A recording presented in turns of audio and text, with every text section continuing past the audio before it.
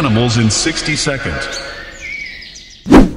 Even Linnaeus, the famous taxonomist, didn't think much of this duck's appearance, despite the fact that the domesticated Muscovy duck is praised for being a large, reasonably quiet, easy-to-raise bird with flesh that tastes more like beef than fowl. Muscovy ducks, on the other hand, have fleshy red caruncles on their cheeks, which detract from their appearance. Males, too, have crests that they use to impress women. Aside from that, these ducks' plumage may be rather lovely, with the male's darker feathers almost iridescent. If only one didn't have to stare at their expressions. Thank you for being with us until the end of this video. If you like this video, please like it and press the subscribe button to support us.